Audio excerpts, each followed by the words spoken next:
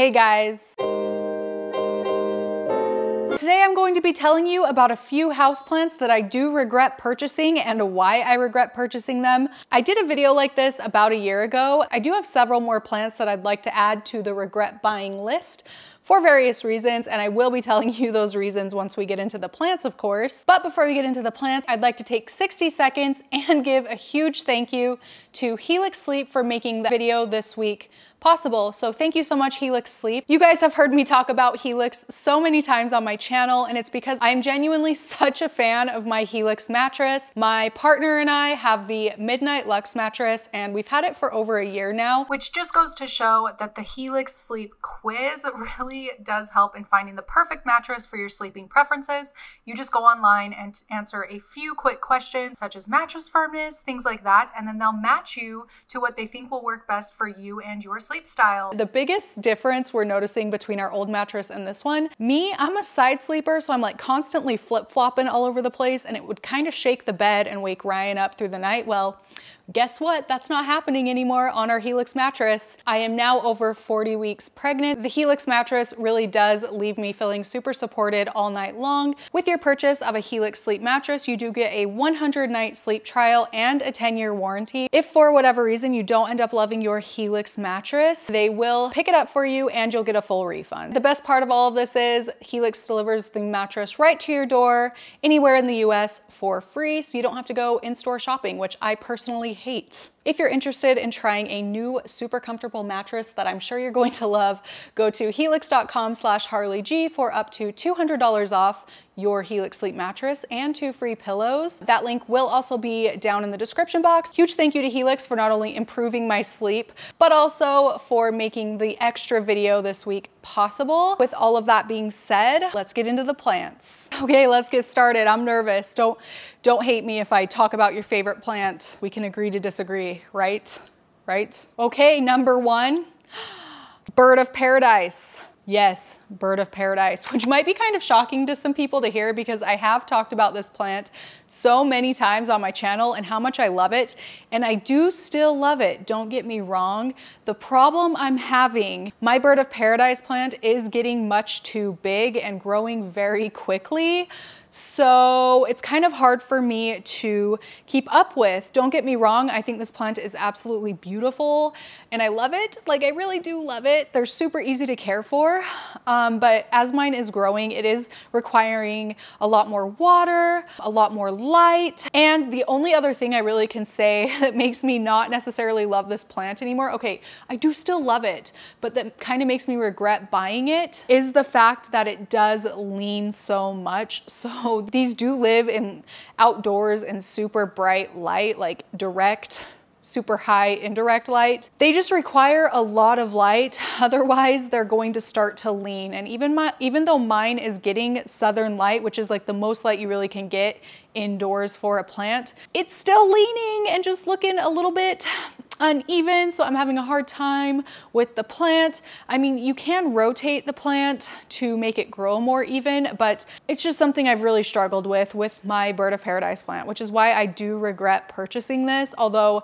I love it. I think it's beautiful. I'm actually going to pass this along to my sister who has a little bit of a smaller plant collection and maybe can keep up with it a little bit better than I can. So don't worry, it'll go into good hands, but that's where I'm at right now. Bird of paradise, who's surprised? I am. I am. I surprised myself as I was writing down all the plants I wanted to talk about in this video and Bird of Paradise just came across my paper. The next plants I'm going to talk about are actually a group of plants and it is all of my orchids.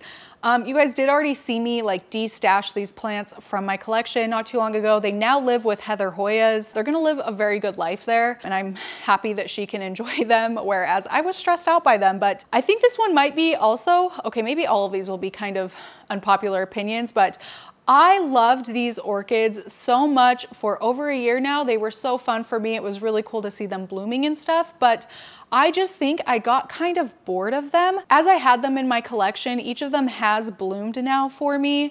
So where it was really exciting to be able to see them bloom finally and like get them to that point, once they bloomed and then the blooms died off, it was kind of like they turned a little bit boring to me. Like, I don't know what it is. There's just something about a plant. It's kind of the same thing I feel about succulents, but just a plant that kind of stays the same and just gets like a little bit bigger, but really overall kind of looks the same. I get bored of them and that is something I don't really buy succulents anymore. I probably will no longer really buy orchids anymore either, just because they get kind of boring to me. I don't know what it is. There's definitely a difference between like a hanging plant that keeps keeps the excitement going in my mind than like an orchid. So I do, although I don't like really regret buying, I kind of do just because I did get bored of them. So of course it was like, it was a really good year with them, but you know what I mean? Does that make sense? It was a good year, but also like I could have not bought them and I'd still be happy through the year. I don't know if that, I actually think in one of my recent videos, I specifically said I don't regret buying them. So like I don't, but I kind of do, you know? Maybe I don't even know.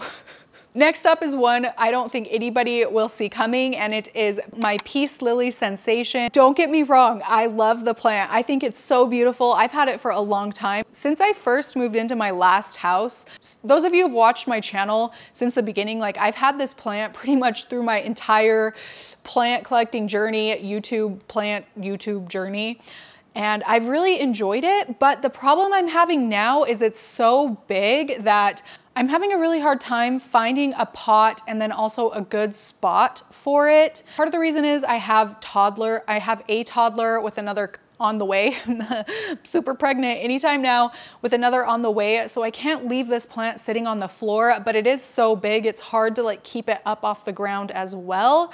So that's just kind of an issue I'm having at the moment, which makes it difficult for me to keep it in a very well lit spot. Right now it's in super low light, which don't get me wrong, it's done really well in this spot.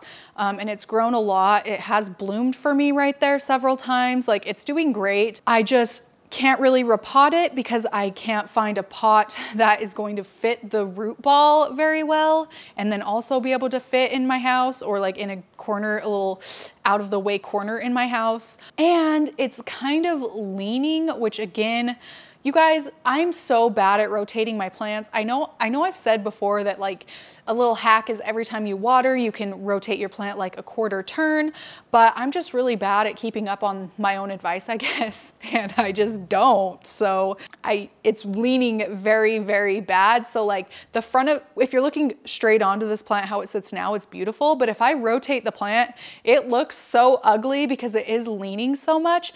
And the only other issue, although it's not really an issue because I keep it sitting in a bucket of water.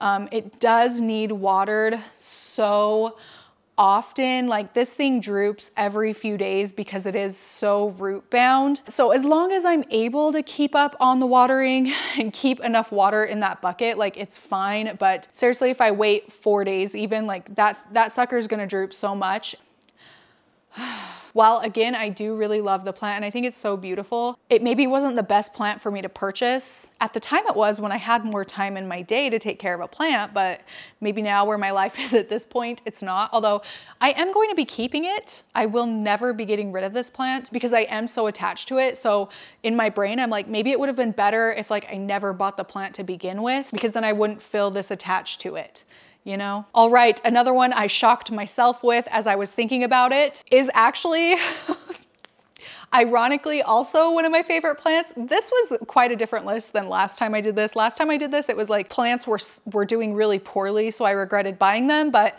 now that I've figured out my house, this new house I've lived in now for almost two years, I've learned like what plants do well here and what plants don't. So most of my plants are doing pretty well. But okay, I'm going off on a tangent. Anyway, it's Hoyas, specifically my like Hoya wayetii, shepherdii, um, species affinis Berto Bert, we'll just call it species affinis Bert. I'll put the name on screen. Uh, Hoya memoria, Crimson Queen, Crimson Princess, all of my Hoyas that I've gotten to bloom, Callistophylla, I now hate, mostly because I don't like Hoya blooms. Like they're so beautiful and it's really exciting the first time you get a Hoya to bloom um, or a different Hoya variety to bloom because they do look so different and they're, they look fake. They look like candy or like fruit gushers. Like I wanna eat them. I'll be honest with you. They look delicious. I can't stand the smell of them. They don't smell bad really, but, and I don't know if it's because I'm pregnant, but lately whenever I go into my grow tent or walk by one of my blooming Hoyas, like I just cannot stand the smell. It smells kind of weird to me. Something smells a little bit off to me about the sap it secretes. And then not only that, the sap, that sap, you guys, is so messy and I can't get some of my Hoyas to stop blooming, especially my Bertonier, Bertonii, Bertonier, Bertone. That one blooms constantly and I'm always down there like trying to chop off the peduncles, which that's even a mess because then it secretes the like milky sap that Hoyas secrete. They're just really messy and the little um, buds, flower buds, once the flowers dry up, fall everywhere, get stuck in the sap that they previously secreted. And it really is just a mess that I I was not anticipating. And I do have more Hoya, like Hoya is my most collected kind of plant. I just can't stand the blooms anymore. It's really, really driving me nuts. So if you guys have any like tricks to fix this or hacks or anything, please let me know because I am going a little bit crazy. It's just hard to keep them clean. It really is. And I do my best, but I can't always. So like while I love Hoyas, I love the thick foliage, the growth patterns on them, um, I cannot stand the flowers anymore. Once I've seen the first cluster of blooms, I'm like, okay, that's all I need to see. Now stop blooming, please. Just put out leaf growth. But that's not how it goes. Once you get a Hoya to bloom, they bloom very prolifically. Prolifically, is that the word?